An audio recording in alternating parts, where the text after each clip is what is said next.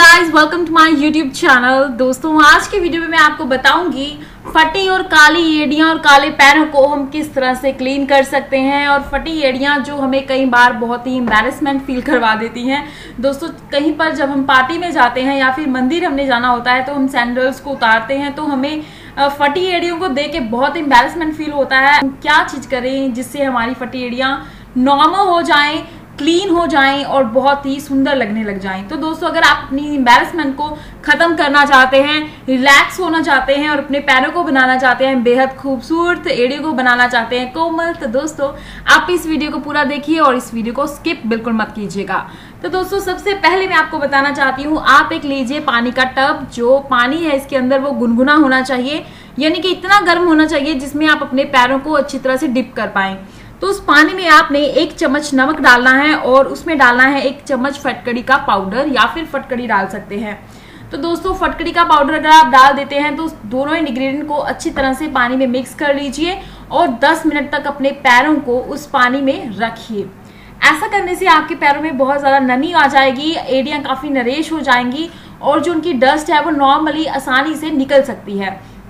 तो दोस्तों, आपने लेना है लूफा लूफा की मदद से आपने अपने पैरों को स्क्रबिंग करना है धीरे धीरे करके,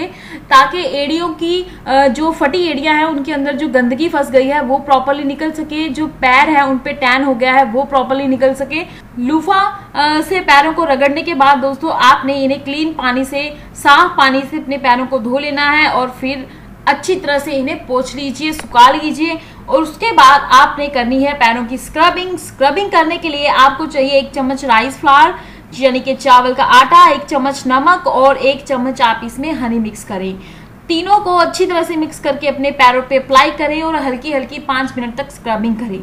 और फिर हल्के गुनगुने पानी से इसे धो लीजिए और पोछ लीजिए। तो अब आ गया थर्ड स्टेप तो थर्ड स्टेप में दोस्तों आपने अपने पैरों को करना है। मॉइस्चराइज मॉइस्चराइज करने के लिए आपको चाहिए एक चम्मच ऑलिव ऑयल और उसके अंदर डालिए आधा चम्मच ग्लिसरीन जी दोस्तों ग्लिसरीन और ऑलिव ऑयल दोनों बहुत ही बेस्ट है। अपनी, आपकी स्किन को नरेश करने के लिए स्मूथ बनाने के लिए और काफ़ी हद तक सॉफ्ट बनाने के लिए। तो दोनों को अच्छी तरह से मिक्स करके अपने पैरों पे अप्लाई कर लीजिए। अगर आप ये तीनों स्टेप रात को करके सोते हैं दोस्तों एक दिन में आपकी फटी एड़ियाँ बहुत ही सॉफ्ट हो जाएँगी नॉर्मल हो जाएँगी क्रैक हील से आपको राहत मिल जाएगी। तो इन तीनों स्टेप को आप यूज़ करें और फटी एड़ियों से राहत पाइए और अपने काले ब्लैक पैरों को कहिए bye bye I am sure आपको ये वीडियो अच्छा लगा होगा तो हिट के बटन पे क्लिक करना बिल्कुल मत भूलें और इस वीडियो को अपने दोस्तों तक शेयर भी कर सकते हैं व्हाट्सएप फेसबुक और इंस्टाग्राम पे। और साथ साथ दोस्तों, अगर पहली बार मेरा वीडियो देख रहे हैं तो वीडियो के नीचे जो रेड कलर का बॉक्स है सब्सक्राइब का